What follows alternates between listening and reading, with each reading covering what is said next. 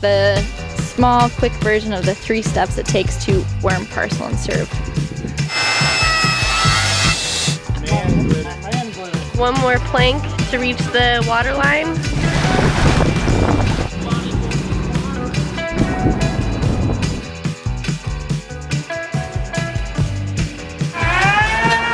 Reid, uh, Garrett's brother, who's helped us out a couple times. You've seen him on maybe a few episodes. I'm walking from our boat. Right to the launch ramp. He's launching his boat right now. running over, seeing his boat going in, covered in sawdust, while we're still very much on the hard. We're next. We're next.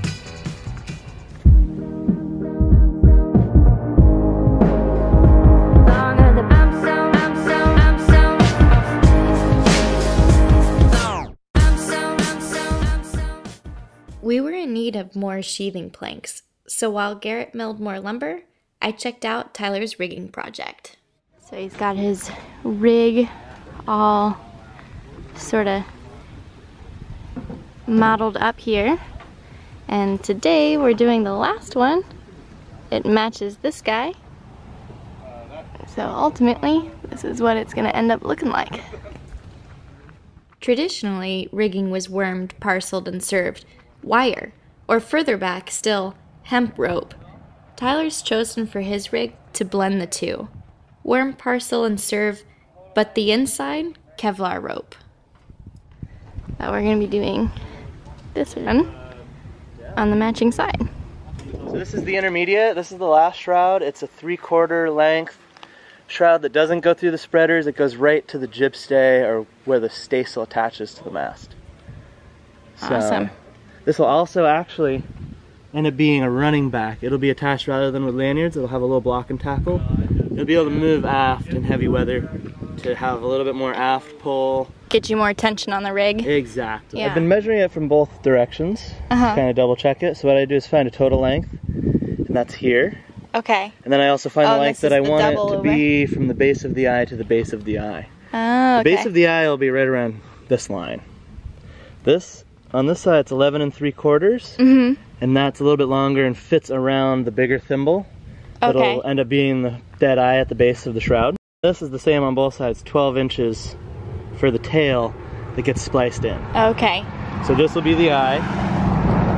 And this part will come up to here and be the okay. part that gets the, spliced the splice back ground. over. Yeah. Now what we're gonna do now is worm the part that'll go around the thimble.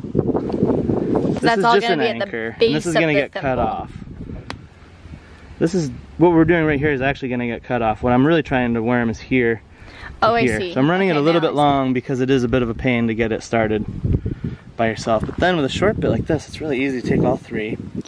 And now I understand the concept of worming. So this is worming it. It's basically like your fairing wraps. So when we tape like and then we serve tube. it, we tape to parcel and then we serve it with the twine. Yeah, it's just gonna be nice and round and there won't be a lot of gaps.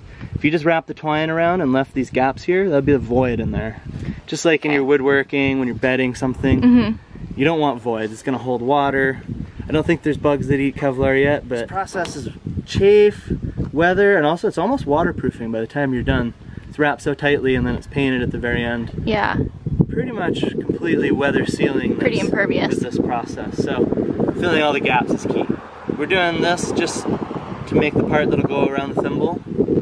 But after that, once we get them spliced, we'll lay it out again. And we'll do this whole thing.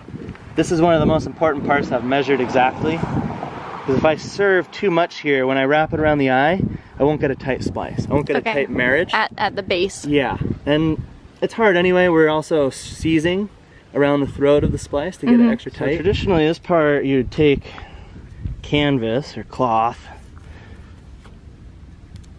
whatever you had basically that would hold some tar. And you dip it in tar and wrap it around the rig. And that's gonna, especially when you were using hemp rope, that's a really big rot protection kind of thing. You'd, you'd soak that cloth, wrap it around, and then when you serve later, it's gonna squeeze it all out. It's gonna make it into one nice big preserved mass of tar. This is kind of the modern, easy, quick way of doing it, and this is some friction tape that's cloth tape.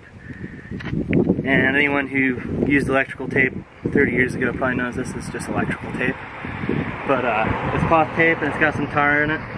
So you can smell, it smells a lot like the synthetic tar that's used in that twine that we're gonna serve with.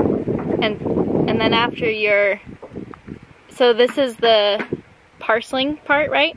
So this is parceling. We've wormed. Okay. So then after we serve it after this, it's surprising how much of that tar, what you're talking about, squeezes out of that tape. Right now It's it feels pretty dry. It doesn't get on my hands, but hmm when we put that much compression on it, it squeezes up between the passes. Yeah, all that serving. And it also gets warmer, and sometimes you even get a clump of it on the mallet. So we've wormed and we've parceled, and there's a little saying you worm and parcel with the lay. This is a right hand lay. My right hand can follow it, so I'm going to go with the lay. I'm going to go around that way. That's why you see I go around okay. really in the Mhm. same direction that the strands of line are that the rope is twisted. going. Okay. So this is the worming, we're parceling, and then serving is just wrapping it crazy tight with more of that twine. You're using the same twine, right? Same twine. Number 36 seems to work really well with this 3 8 inch rope. And uh, yeah, the other thing too is that you can worm, parcel, and serve almost anything. Stainless steel, not advised.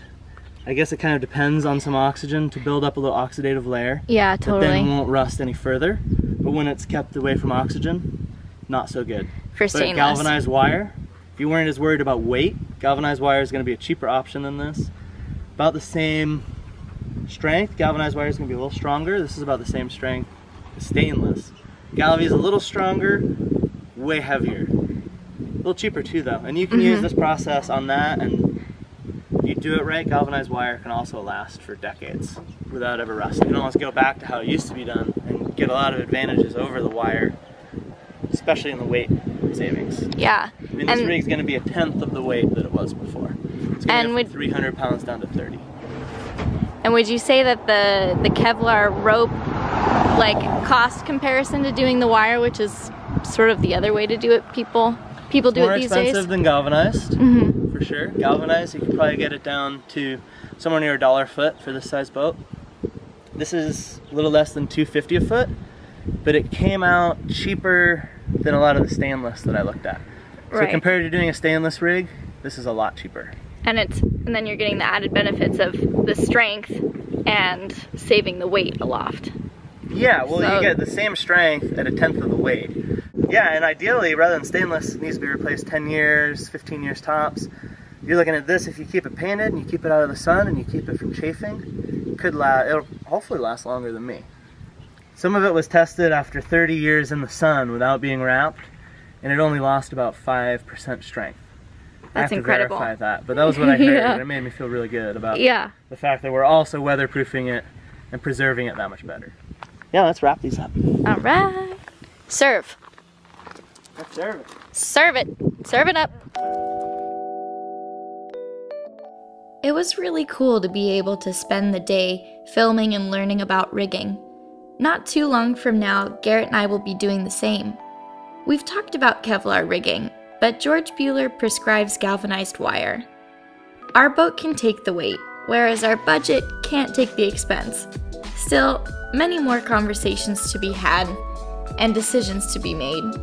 It's wise to inform yourself of all the possibilities and techniques, but cautionary too not to overwhelm yourself.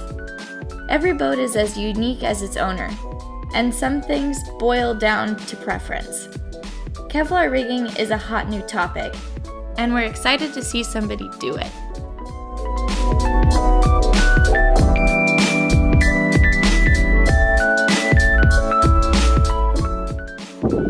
twist it tight. And if you look really closely on there, if you pull it, you can see the whole thing will shrink. Oh, look at it go. And there I'm putting probably at least 100 pounds on it. Tyler taught me how to bury my lines at either end of a serving, and eventually to slosh the whole stay in blacking.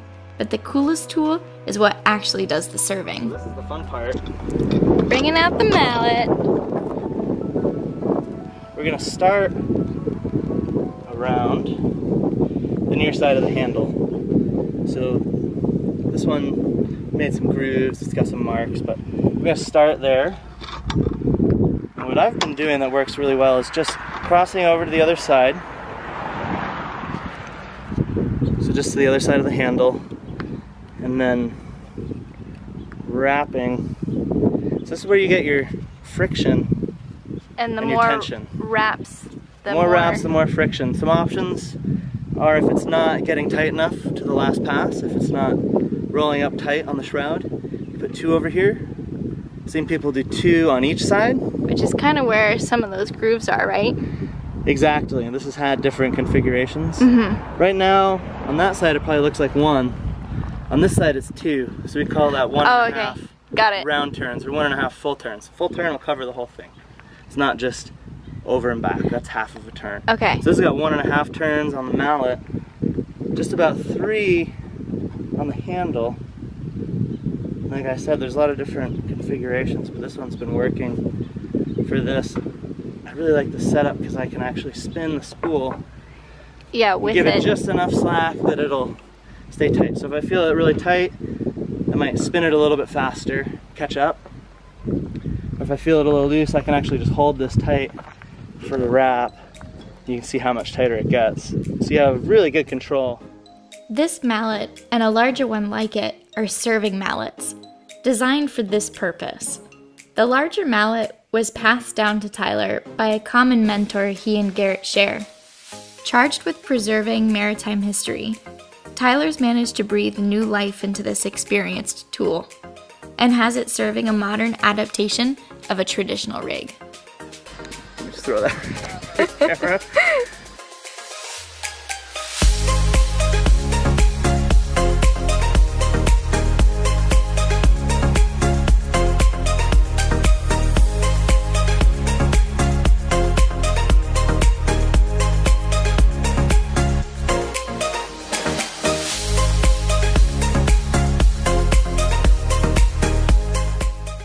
Do is use this little messenger line.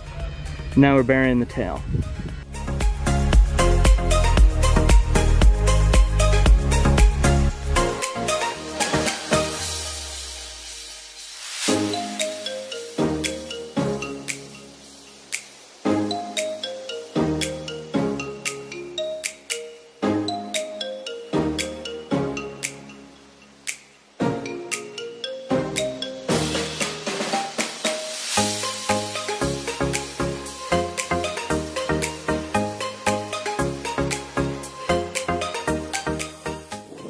Now what we have is just the tail running back under the, the serving there.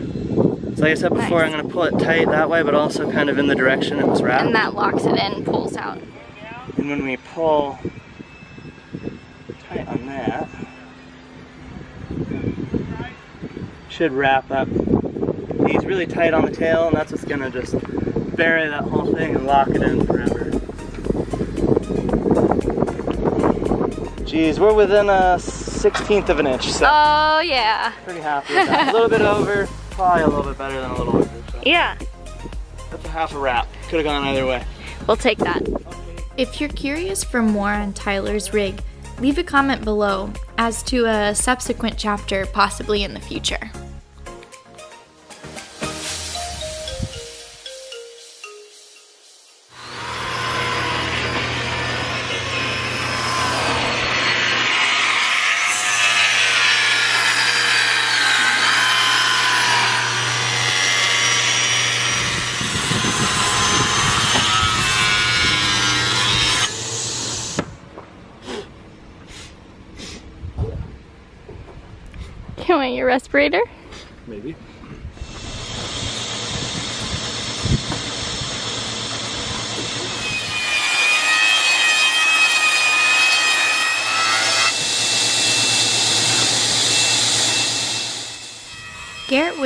Deep in sawdust wilderness, stocking up planks to finish sheathing. We have, give or take, like 20 planks to the transom, and we started on July 27th on the starboard side, and we're nearly halfway there. This was August, and it took another full month till September 27th before the last sheathing plank was secure. then the whole other side. Man glitter. Man glitter. It's your man glitter. Shit. You look ready for a cold beer. Oh yeah. We'll hose you down. Yeah, right. I, I've been needing to mill more lumber for a while now. So Yeah. it's good. So, we've got just this much to do. So, we're hoping to get that done today. And then that minus where we have to move the stands, which we have to get the yard to move. So we're gonna wait until we finish uh, the port side also to have them move it because they charge you, I don't know, some money to move them and might as well just do it all at once instead of one then the other. So the starboard side will be completely done except for like 20, 20 planks, give or take 20 planks where the stands are. So we're cruising along. Um, I think it's now been about two weeks since we started. And a week we were working on doing this. The other week we've sort of been playing hooky a little bit. Um, still managed to finish our chain plates, or at least finish to the point uh, before launching. And then there'll be more work with them after we launch the boat. But we got that done. And um, yeah, I had a friend come into town. I had my birthday. Garrett's mom's birthday's coming up, so we had dinner with her and his family. And then my dad's birthday's today. Uh, so it's been a busy, busy August. Um, but, you know, we've been able to manage to have some fun too, besides just work. So that's always nice. Um, but yeah, focusing on what's left. Uh, the sheathing's coming along really nicely. Garrett's uh, planed and cut more of our stock for it. So I think he said he's got like 60 some odd planks down reserve and he was doing a bunch of calculating this morning and I think he was figuring out it's about um, 40 some odd planks per side. So we should have more than enough to finish. So that's really exciting. We might need some more for where the where the boat stands are, but that's at least a week away. So no need to overthink about that one. And then we'll have a more exact number when we get there. To keep things interesting, we decided to have a little boatyard bet. How many planks will it take to reach the transom?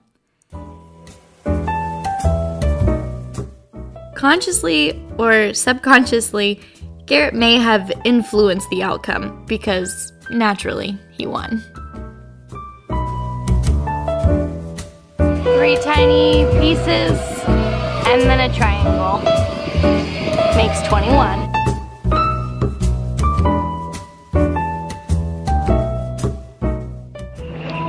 So I've been a little bit sick the last um, maybe about five days now, so I haven't really felt like uh, filming because I just wanted to work on the boat and it was easy enough to just push through that, but too hard to sort of pick up the camera at the same time when snot's just ripping out of my nose. So anyway, before I go into too many gross details, we are working on the port side. So we're I think one more plank to reach the water line and then we'll have the 60 planks to go on the bottom. The chain plates were now in place with a single bolt so we can better adjust the angle after the master stepped. But this means now we can paint the hull.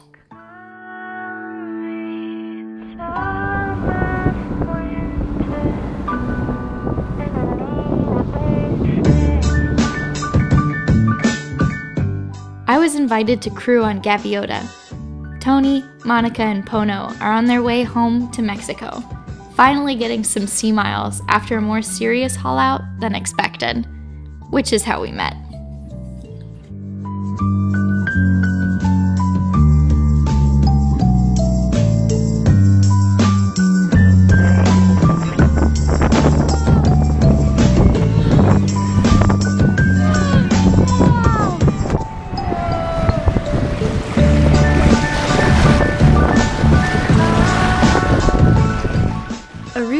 Routine haul out can quickly become deck repair, pulling your rudder, and rebedding everything. Tony was a happy captain to be sailing his boat south. This leg was just to Santa Cruz, but it could have been Hawaii. I was just as happy.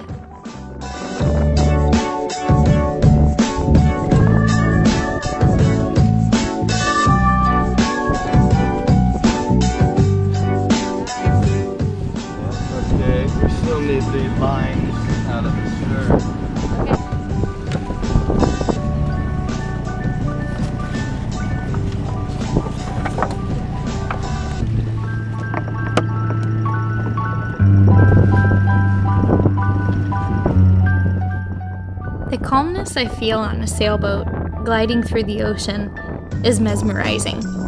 Only then to be topped by Tony trusting me to bring her into the dock.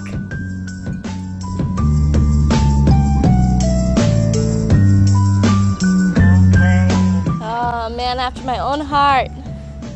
They didn't fuck up anything so bad it can't be undone or forgotten over a little rum. Cheers. Thank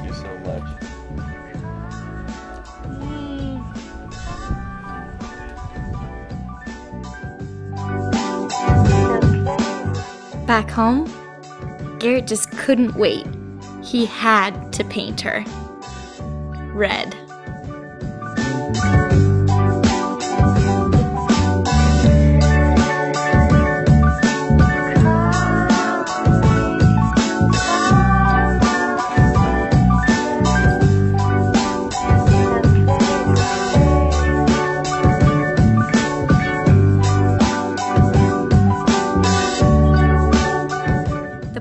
Side was done soon enough, and the next phase began.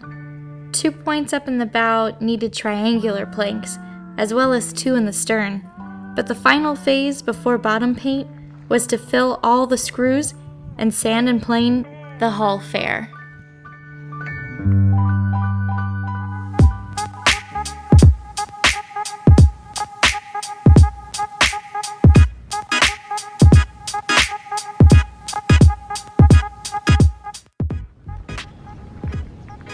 So I got pretty far yesterday. Got from the water line down to the chine, and then this forward section where Garrett already sanded. And then I started on the port side before he sanded. And then we only have to do it once. So I got from the bow, and I got the second part done. I'm on to the third section out of four. I've got from there, and then I've got like seven left. And then the final quarter. And I think Garrett's gonna keep sanding on the starboard side, so maybe I'll fill holes there after. And then still the water line to the chine on the port side. But it's going pretty quick. Maybe I can get them all filled today.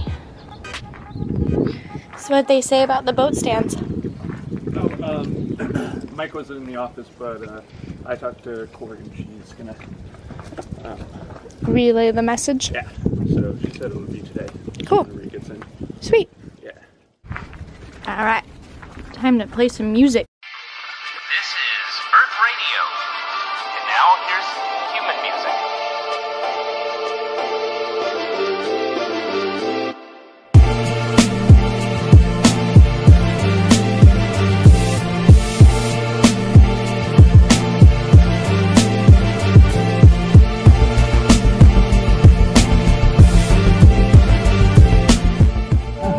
Almost done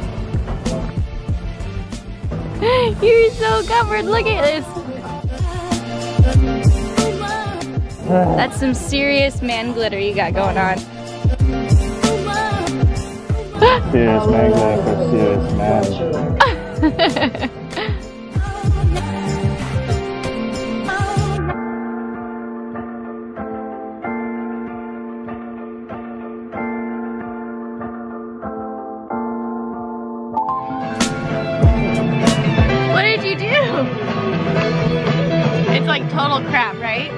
just blew up. Are you done? No. Shit. Halfway. See if I can fix it.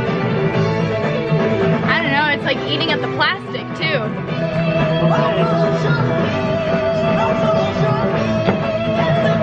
That's some serious planing work.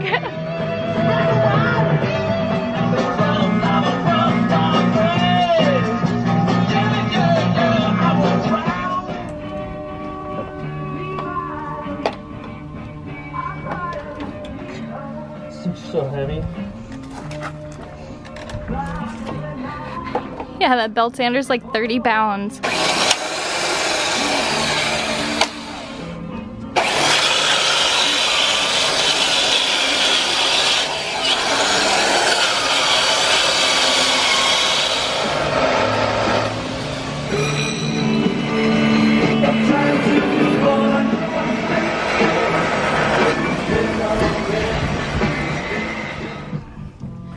Did you have to go just to the sander? Yeah, belt sander doesn't work. The hand plane, try that at all? I might try it, but I don't know if that's gonna be any better.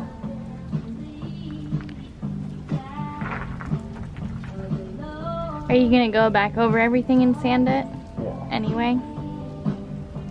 That should go quick though. But this is just the planer crapped out like back there.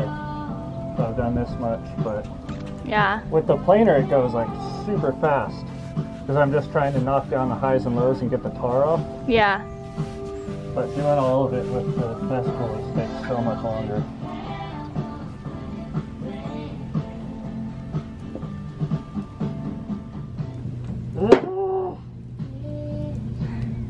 We're so close, Garrett.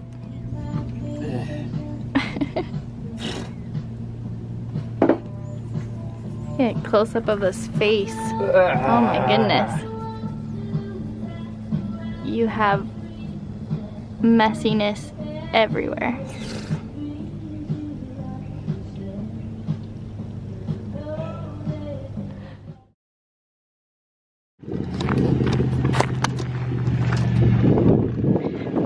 Uh, Garrett's brother, who's helped us out a couple times. You've seen him on maybe a few episodes. He's been in the yard for the last like uh, maybe two months or something. And he's launching his boat right now. So I'm walking from our boat right to the launch ramp. Woo! Garrett's already over here. Reid hauled out to paint, but ended up fiberglassing a massive blister and replacing and rebedding his through hulls.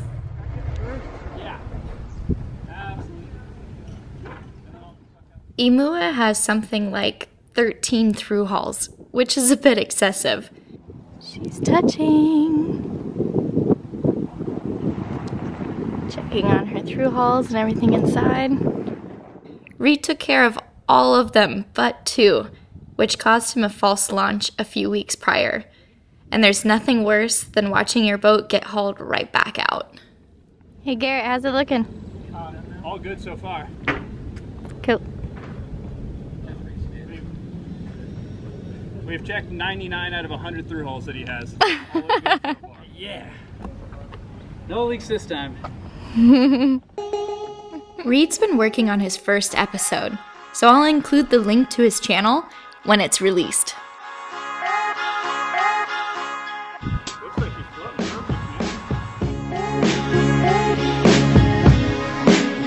I Mua is a landfall 39, and Reid shook out her cobwebs in Kalama, Washington, and now gives her room to gallop in the bay.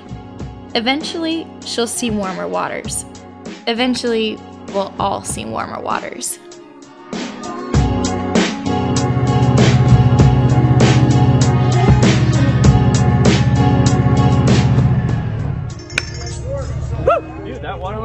Absolutely perfect, man.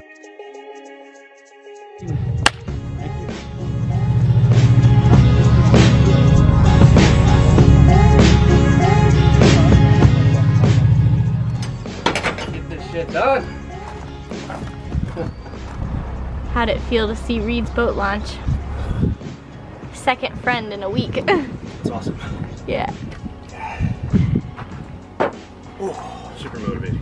We're next. We're next. Funny, like running over, seeing his boat going in, covered in sawdust, Yeah. like mask, goggles, everything. Well, we're still very much on the hard, but Yes. we'll go soon. Yeah. Speaking of that, I'm gonna cut some more wood.